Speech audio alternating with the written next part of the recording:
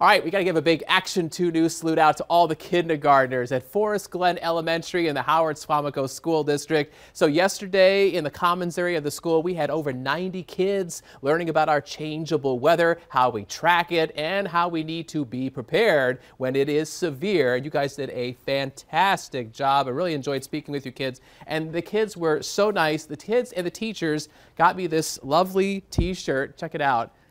I take weather seriously.